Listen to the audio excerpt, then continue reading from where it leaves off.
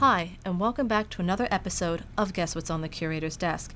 Now, last week I showed you this instrument, and today I'm going to tell you what it is. It's called a mitral commissurotomy knife, and it was designed to enter into a person's beating heart and to carefully slice open a stuck mitral valve. And keep in mind, this was done before the invention of the heart lung machine, so this would have been performed on a patient's still beating heart.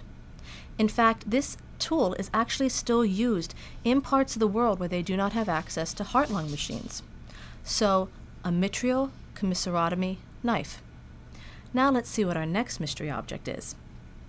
Now, this mystery object was designed as a teaching tool, and I'll give you some other hints. It's over a hundred years old, and this part here would allow the head to be tilted back, and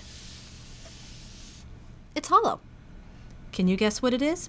Post your answers to our Facebook, Twitter, or in the comments section below.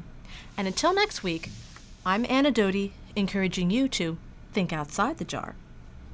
For more exciting videos, be sure to log on to youtube.com slash the Museum and be sure to click subscribe.